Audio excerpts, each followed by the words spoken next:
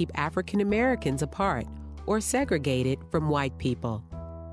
These laws were known as Jim Crow laws, named after a fictional character that was very offensive to African Americans.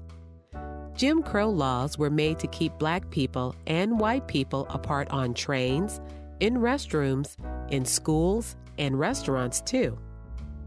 In 1896, Homer Plessy challenged the Jim Crow laws by sitting in a railroad car reserved for white passengers. He was arrested and found guilty of breaking Louisiana's segregation laws.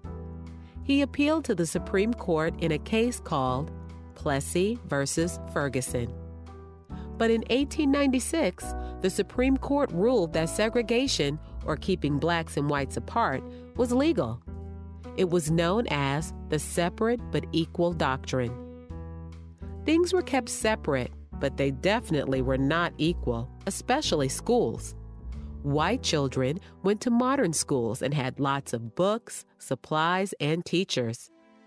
Many African American children went to schools that were run down, one room buildings with no electricity or running water. They had very few books, teachers, and supplies.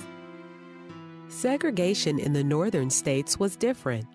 There weren't laws stopping whites and African Americans from eating in the same restaurants or using the same bathrooms or going to the same schools.